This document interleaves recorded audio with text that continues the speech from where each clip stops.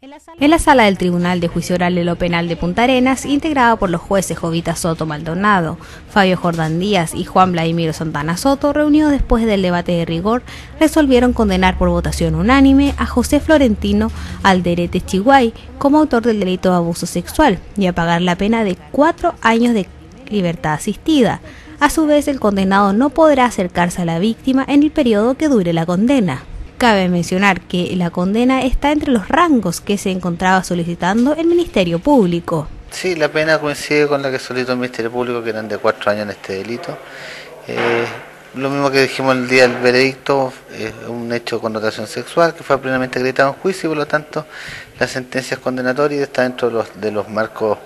eh, punitivos que esperábamos. El fiscal a cargo del caso, Juan Agustín Meléndez, durante el juicio oral indicó que el hecho ocurrió en el mes de abril del año 2007 en horas de la mañana, mientras que la menor de iniciales EDMM, de 5 años a la época de los hechos, se encontraba en su domicilio, en compañía del condenado, momento en que éste procedió a abusar sexualmente de ella.